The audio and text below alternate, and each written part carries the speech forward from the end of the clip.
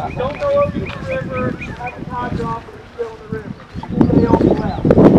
Alright, go play, go play. Back here at 3 o'clock. If you're not at the scores table at 3, you've come in at 2. I'll be here at 2. Hi guys, we're down here beautiful Fort Fisher, bringing you the first annual NCKFA Lucky Tackle Box Tournament.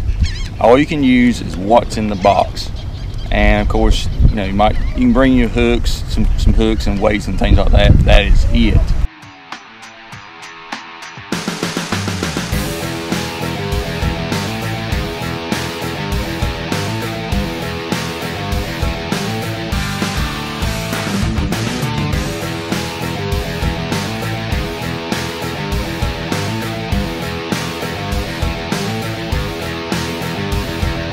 All right, guys, it's Tom Southern Outdoors Fishing.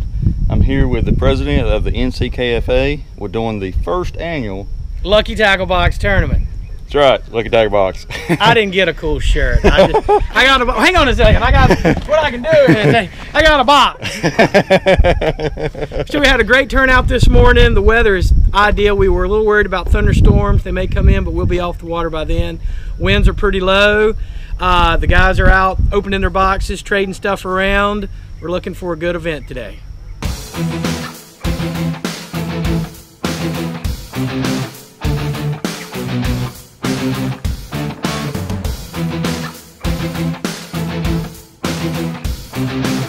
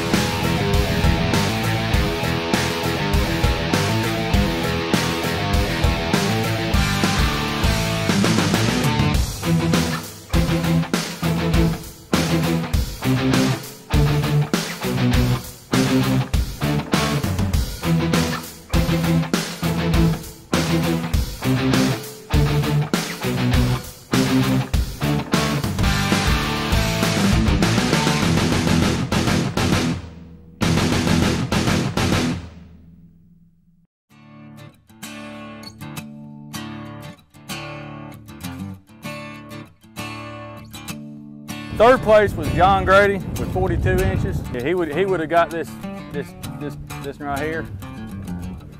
Andrew Rhymes is second place with 61 inches and three fish. There you go, man. Appreciate it. Uh, John Grady with the biggest red fish of 27 inches. Uh, Anthony Fuhrer, okay, he got first place. The total inches was 57 and three quarters. Yep, got four fish. Congratulations, man. The Andrew Rhymes got the biggest ladyfish. Yep, got the lucky fish. And it's uh, 22 and a half inches. So, okay, all right, there you go.